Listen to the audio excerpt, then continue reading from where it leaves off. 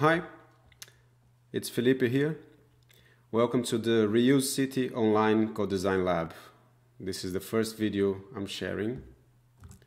Today is Tuesday the 6th of April 2021. The lab is scheduled to run for the next four weeks until the last Friday of this month.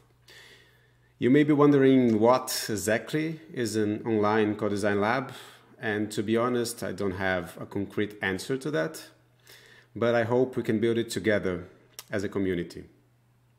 You see, even though this whole exercise is part of my individual PhD research in the OpenDoTT project, I also have other objectives that go beyond the academic ones.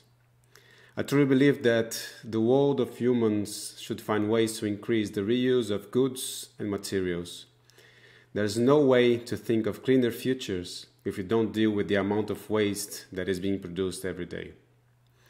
If you are here, I think you're not surprised to hear that recycling, landfilling, and incinerating are not enough for that, and won't be for the foreseeable future. We must find ways to make the best use of things that have already been manufactured and are out there in the world.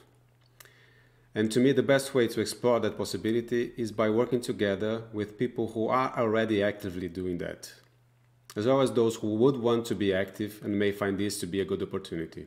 So, how do we start the lab? I will share with you how I see that unfolding, and I would love to hear back from you how that resonates.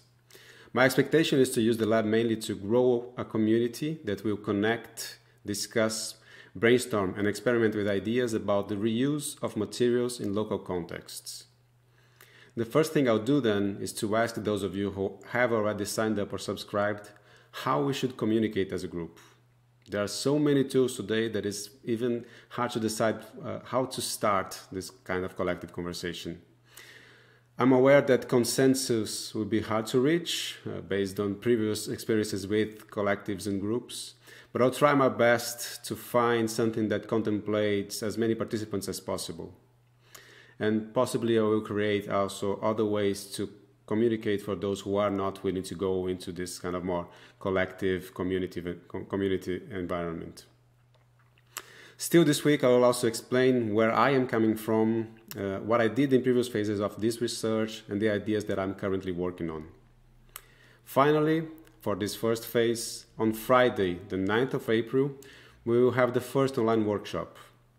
Friday is also the IoT Day that is organized by the Internet of Things Council and I find that a good opportunity to share those parts of my research that connect and intersect with sensors, data, and so on. Uh, I am fully aware, and I think you and I agree, that technology will not solve the issues that we are trying to address, but it can be, uh, in any case, a good way to start conversations and to expose issues of knowledge, work, and power that are behind the reuse of things. Over the coming weeks, we will have the opportunity to meet other times and to create together and hopefully to start prototyping and planning for the future. I hope to have all of you on board. Obviously, feel free to invite other people that you think may be interested in joining this lab or this community.